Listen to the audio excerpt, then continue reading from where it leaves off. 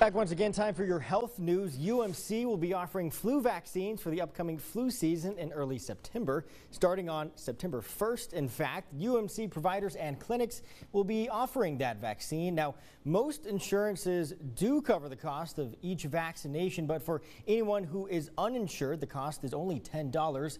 We have a complete list of UMC clinics and locations on our website. Again, it is ktsm.com.